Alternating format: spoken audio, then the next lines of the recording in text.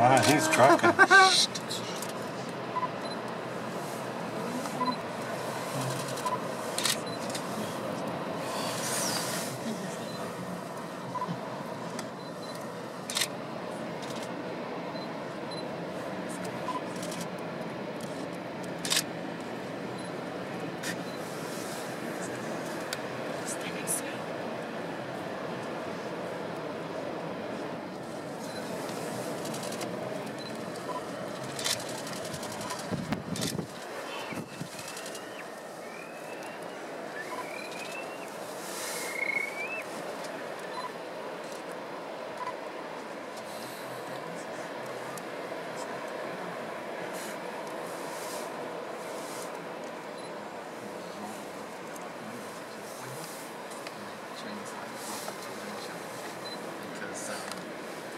I was just saying that the, uh, the Māori name for uh, yellow penguin is hoiho, and you guys are simply seeing why.